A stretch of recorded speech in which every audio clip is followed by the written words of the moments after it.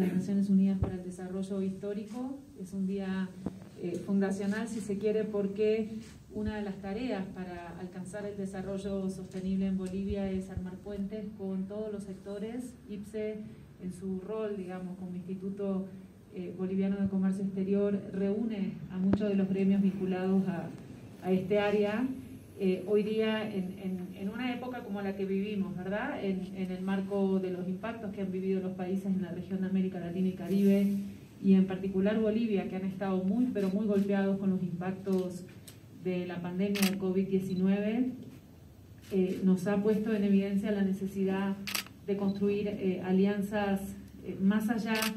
de, de, los temas sectoriales, sino también pensando realmente en proyectos de crecimiento eh, nacional. Desde el PNUD, como, como, todos y todas saben, tenemos un mandato muy, pero muy este, fuerte alrededor de acompañar a Bolivia en el logro de los objetivos de desarrollo sostenible.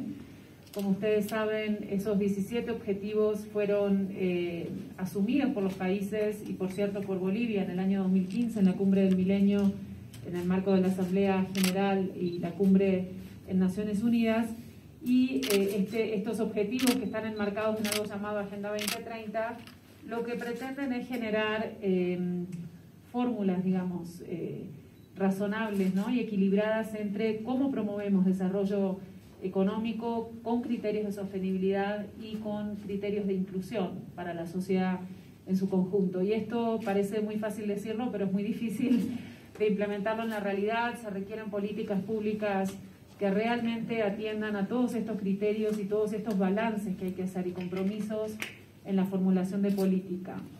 Eh, hoy nos, nos, unimos a IPSE, eh, e IPSE se une a PNUD en esta empresa y en esta tarea compleja, por cierto, que es em, realmente empezar a generar las evidencias, los datos, los análisis alrededor de cómo los sectores productivos en Bolivia pueden aportar a esta agenda y eh, vamos a comenzar eh, de a poco, pero con paso firme.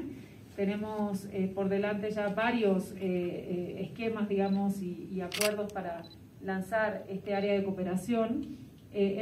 puntualmente, tal vez mencionar el, el, estudio que desde PNUD hemos promovido, que ha resonado muchísimo con IPSE, alrededor de las oportunidades de inversión en el sector agroalimentario en Bolivia. con este estudio que lanzaremos oportunamente en el mes de mayo y ojalá eh, los amigos y amigas de la prensa se puedan unir también, podamos este, realmente identificar dónde están esos nichos de oportunidad para que Bolivia se pueda insertar en los mercados globales, pero no de cualquier manera, ¿verdad? Con criterios, como decíamos antes, de eh, sostenibilidad, atendiendo a estos equilibrios que tenemos que lograr en términos de sectores, en particular en el agroalimentario, que generen al tiempo de generar empleo y de generar mejores rendimientos y productividad eh, también generen oportunidades para los ingresos del país en términos de mercados externos y, la, exportación. Bolivia tiene un potencial enorme, de acuerdo hemos visto, y eh, nos, honra muchísimo asociarnos al IPSE, que es una institución con una trayectoria eh, enorme.